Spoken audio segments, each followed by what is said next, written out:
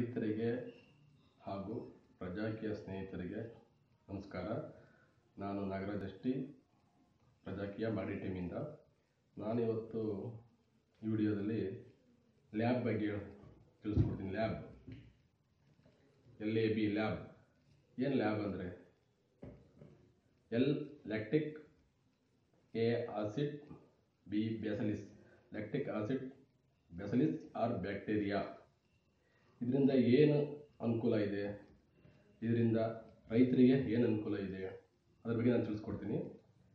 ಹಿಂದೆ ಎಲ್ಲ ಏನು ನಮ್ಮ ರೈತರು ತಾವೇ ಬೀಜ ಉತ್ಪಾದನೆ ಮಾಡ್ಕೊತಿದ್ರು ಸ್ಟೋರ್ ಮಾಡ್ಕೊತಾ ಇದ್ರು, ಅದನ್ನೇ ಯೂಸ್ ಮಾಡ್ತಾ ಇದ್ರು ಬಿತ್ತನೆ ಬೀಜಗಳು. ಅದೇ ರೀತಿ ಗೊಬ್ಬರನೂ ಅವರೇ ತಯಾರಿಸ್ಕೊತಾ ಇದ್ರು ಕಾಂಪೋಸ್ಟ್ ಗೊಬ್ಬರ, ತಿಪ್ಪೆ ಗೊಬ್ಬರ. ಈ ರೀತಿ ಗೊಬ್ಬರ ತಯಾರಿಸ್ಕೊಂಡು ಮತ್ತು ಹಸಿರೆಲ್ಲ ಗೊಬ್ಬರ ತಯಾರಿಸ್ಕೊಂಡು ವ್ಯವಸಾಯ ಮಾಡ್ಕೊಂಡು ಹೇಗೋ ಜೀವನ ನಡೆಸ್ತಾ ಇದ್ರು.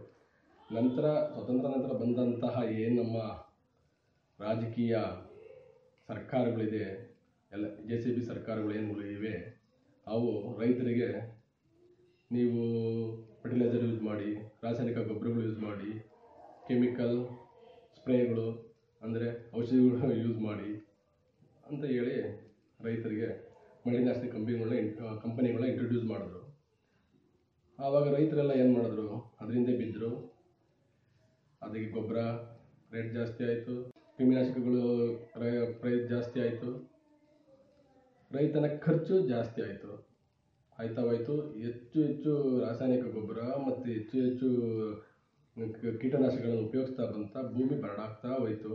ಕಾರಣ ಭೂಮಿಲಿದ್ದಂತಹ ಜೈವಿಕ ಅಂಶ, ಜೈವಿಕ ಕಣ ಅಂದರೆ ಬ್ಯಾಕ್ಟೀರಿಯಾಗಳು, ಫಂಗಸ್ಗಳು, ವೈರಸ್ಗಳು, ಇದು ರೈತನ ಒಂದು ಸ್ನೇಹಿಯಾಗಿದ್ದು ರೈತನಿಗೆ ಇವು ಸಹಾಯ ಮಾಡಿದಂಥ ಬ್ಯಾಕ್ಟೀರಿಯಾಗಳು ಅವನ ಬೆಳೆಗಾಗಲಿ, ಬೆಳವಣಿಗೆಗಾಗಿ ಸಹಾಯ ಮಾಡಿದಂಥವೆಲ್ಲ ನಾಶ ಆಗ್ತಾ ಬಂತು.